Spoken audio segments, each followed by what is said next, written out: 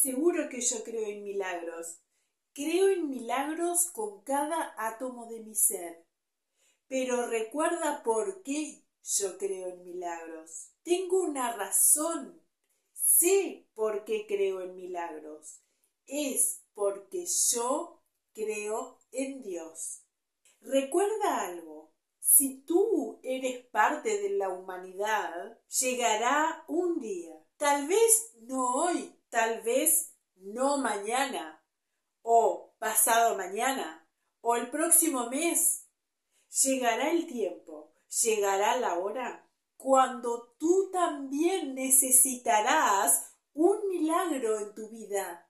Y cuando ese momento llegue, recuerda, Dios estará justo allí para realizar ese milagro para ti.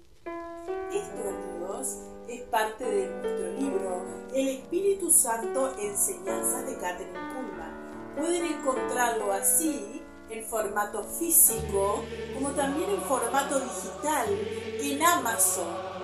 Esperemos que lo disfruten y que les sea de mucha bendición. El entusiasmo por Catherine Pullman.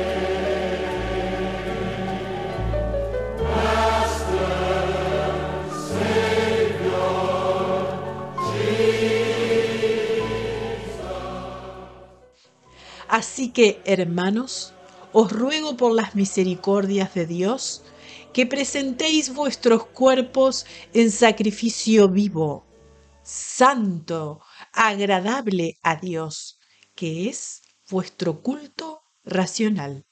Romanos 12, 1.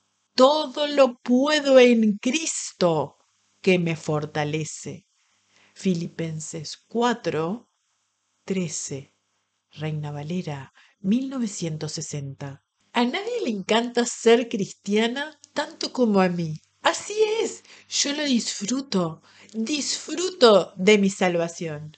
Me encanta haber nacido de nuevo. Disfruto de esta vida cristiana. No la cambiaría por nada del mundo. Es la verdad. Si yo creyera que hay algo mejor, se lo diría a ustedes.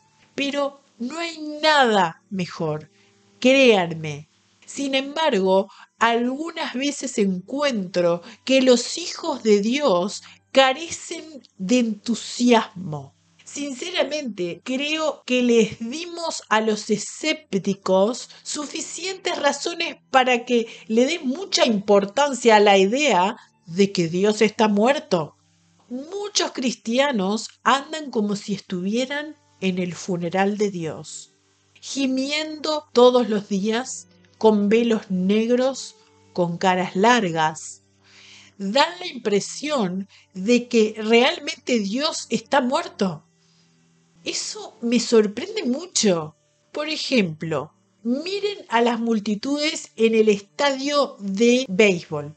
Aun cuando los piratas están perdiendo, los fanáticos de Pittsburgh gritan y chillan para respaldar y para apoyar a su equipo. Eso es entusiasmo. ¿Por qué entonces los hijos de Dios manifiestan menos entusiasmo que los fanáticos del deporte? Tenemos algo por lo cual debemos estar emocionados. Estamos en el equipo que va ganando y nunca será derrotado amados hermanos, tenemos algo de lo cual debemos gozarnos y gritar de alegría. Un cristiano que esté armado con la palabra de Dios y con la persona y el poder del Espíritu Santo está plenamente equipado para la victoria. Puede hacer mucho más de lo que puede lograr el que no nació de nuevo, con todos sus instrumentos y con toda su maquinaria y organizaciones juntos. ¿Pueden ustedes entender por qué estoy entusiasmada con respecto al hecho de ser cristiana? Un ejecutivo muy importante que comenzó de la nada afirma, el hombre que llega a la cima es el que no se contenta con hacer simplemente lo que se le exige. Él hace más. Esta es una de las leyes básicas del éxito. Y uno no puede evadirla. El que camina la segunda milla, el que da más de lo que se espera de él, ese es el que tiene éxito. El entusiasmo y el éxito van de la mano. Cuando ustedes tengan un trabajo para hacer, háganlo con entusiasmo y háganlo bien. Yo creo que soy una perfeccionista cuando se trata de hacer las cosas para Dios. No puedo evitarlo. Quiero que las cosas se hagan tan cercanas a lo perfecto como me sea posible. Quiero que toda carta que salga de mi oficina sea tan perfecta como sea posible. Cuando ustedes reciben una carta mía, les prometo que va a ser lo mejor que yo pueda hacer. Pues tal carta no representa a Catherine Kuhlman, sino a aquel a quien sirvo, a Jesucristo, el Hijo del Dios viviente. ¿Saben si algunas personas que están haciendo una obra tan desalineada para el Señor hicieran la misma clase de trabajo chapucero para su patrón en este mundo, perderían el trabajo. Hace muchos años yo necesitaba imprimir un trabajo. Lo envié a una imprenta en Pittsburgh cuando vi el trabajo terminado, estaba horrorizada. Las imperfecciones que tenía eran casi imperdonables. Llamé a la imprenta y le dije que viniera a buscar el material, porque se lo iba a devolver, porque no podía aceptarlo. ¿Saben lo que me dijo el hombre de la imprenta? Bueno, señorita Kuhlman, yo me imaginé que, ya que esta es una organización religiosa, la gente no se daría cuenta de unos pocos errores. Yo le dije, Señor, ¿usted no pensaría en hacer un mal trabajo para el señor Harris, el de la compañía de Ice Capaz? Usted sabe que él le exigiría perfección y le habría hecho un trabajo perfecto. Yo represento algo mayor que la compañía Ice Capaz. Tal vez usted no lo considere así, pero este trabajo, al ser enviado, representa a la mayor empresa del mundo. Es una corporación de tres, el Padre, el Hijo y el Espíritu Santo. Y yo quiero perfección para ellos. Yo creo eso. Creo que no debemos darle a Él nada que sea menos que lo mejor. Usted y yo no tenemos el derecho de dar cualquier cosa que sea inferior a lo que le daríamos a nuestro empleador. Es así, es verdad. Cuando Dios les encomiende a ustedes un trabajo, háganlo con entusiasmo y háganlo bien.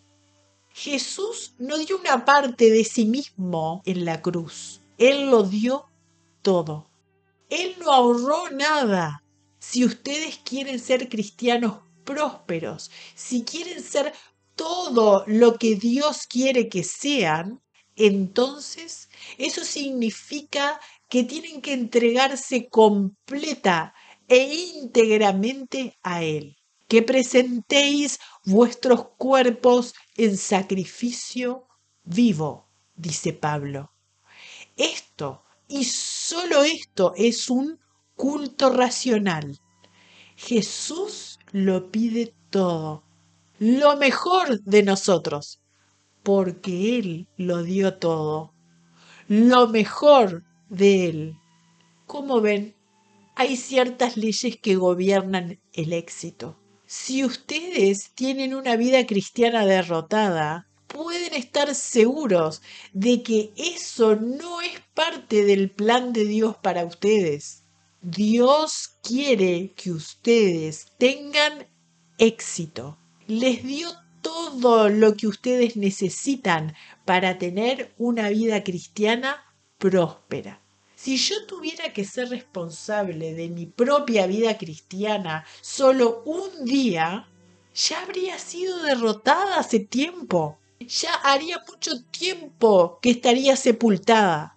Si cuando yo tenía 16 años de edad hubiera sabido todo lo que tenía que pasar antes de llegar a esta etapa de mi vida, habría dicho no, no puedo no lo voy a lograr. Pero no es así como uno lleva a la práctica la vida cristiana. Un hombre que surgió de la oscuridad a la edad de 40 años para convertirse en uno de los mayores magnates de la producción en masa, nos recuerda que no hay nada que sea especialmente difícil si se divide en pequeñas tareas. Ese es también el secreto de una vida cristiana próspera. Dios nos prometió su fuerza, pero solo un día a la vez, día por día, como tus días serán tus fuerzas, le prometió Moisés a hacer. Sí, no importa lo que traiga el día. Si trae tristeza, Él será el glorioso fortalecedor. Si trae muerte, Él dará gracia. Si ustedes se enfrentan con tentaciones, lo único que tienen que hacer en ese momento es invocar el nombre del Señor y Él les dará la victoria. Ustedes y yo podemos vencer todo. No me importa cuán grande sea el trabajo. Si se divide en pequeñas tareas, se lo puede hacer. Todos podemos vivir victoriosa y gloriosamente por medio de Cristo que nos fortalece. Querido Jesús, te doy un millón de gracias por tus benditas promesas de victoria. Enséñanos tu palabra y llénanos de tu Espíritu Santo para que hagamos todo por medio de fortaleza. Te lo pido en tu bendito nombre. Amén. Que Dios los bendiga. Desde el equipo de la tercera persona de la Trinidad, queremos agradecerle de todo corazón a Tere Casañas. Muchísimas gracias, hermana querida, por tu aporte de amor y tu ayuda y apoyo a este ministerio y a este canal. Que Dios te y te bendiga mucho más. Y queremos agradecerles a todos por vuestros comentarios de amor, de apoyo y de ánimo para este canal y para con este ministerio.